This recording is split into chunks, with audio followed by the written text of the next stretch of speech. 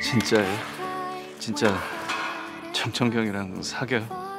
그럼 우리 사이는 어떻게 되는 거냐고요? 아니 너왜 그러는데? 안수영 때문이냐? 공부만 해요? 공부하느라 뭐 다른 거 할 시간도 없겠죠. 오늘부터 영포점의 새로운 식구가 된 박미경입니다. 잘 부탁드립니다. 선배, 나 기억 안 나요? 뭐 소개팅하면 안 되는 이유라도 있나? 소개팅 진짜 하는 거예요? 하 회장님이랑 상관없는 일이잖아요.